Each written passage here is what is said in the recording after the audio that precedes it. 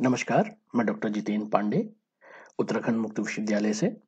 आज के लेक्चर में हम पढ़ेंगे basic computer organisation and design और इसके अंतर्गत हम पढ़ेंगे कॉमन बस सिस्टम। पिछले लेक्चर में हमने एक बेसिक कंप्यूटर सिस्टम एज्यूम किया था, जिसमें हमने एट प्रोसेसर रजिस्टर और एक मेमोरी, जिसका साइज़ 4096 बाई 16 है, इसको एज्यूम किया था।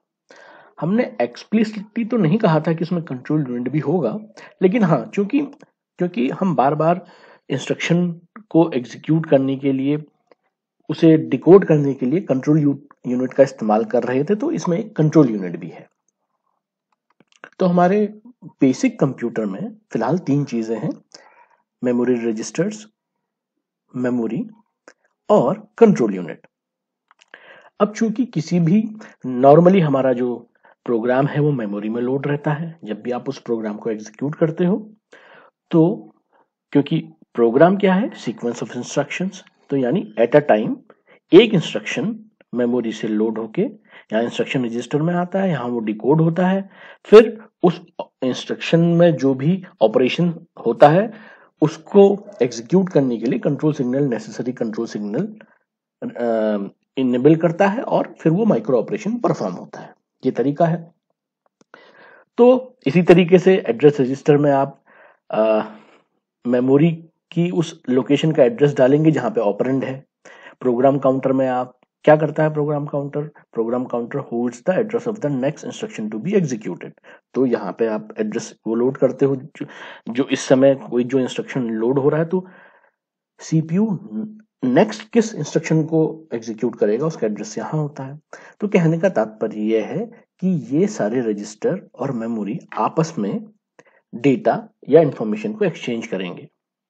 तो इसका मतलब इन सारे रजिस्टर से, हर रजिस्टर दूसरे रजिस्टर से कनेक्ट होना चाहिए, तभी आपस में कम्युनिकेट कर पाएँगे। लेकिन सोचिए, हर रजिस्टर अगर दूसरे रजिस्टर से डायरेक्टली कनेक्टेड हो तो हर रजिस्टर से कितने कॉम्बिनेशन ऑफ़ तार के कॉम्बिनेशन निकलेंगे? ये 16 बिट का रजिस्टर है तो 16 बिट पाथ यहाँ से निकलेगा। इसके लिए 16 बिट पाथ निकलेगा, इसके लिए 16 बिट पाथ निकलेगा, इसके लिए। इसी तरीके से इस रजिस्टर में भी सब जगह से 16 बिट पाथ 16 बिट 16 बिट यहाँ 12 बिट ये 12 बिट ये 8 बिट ये 8 बिट इतने कॉम्बिनेशन हर रजिस्टर से दूसरे रजिस्टर में जाएँगे पाथ जाएँगे बेसिकली सर्किट तो ये बहुत कॉम्प्लिकेटेड हो जाएगा।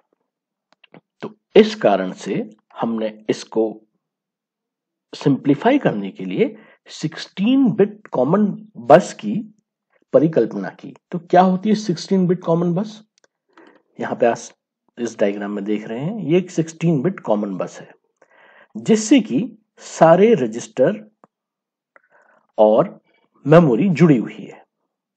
तो अब आपको हर रजिस्टर को दूसरे रजिस्टर से जोड़ने की आवश्यकता नहीं। ये कॉमन हाईवे है।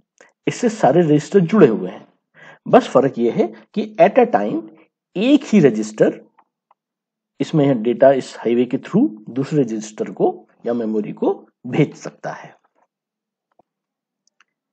इस अरेंजमेंट को हम 16 बिट कॉमन बस कहते हैं।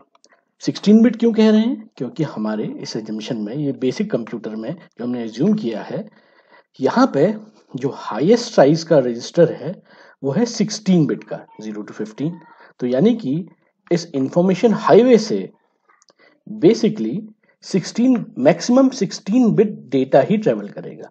इसलिए हमने यहाँ पे इस बस की विट जो है, वो 16 बिट रखी है।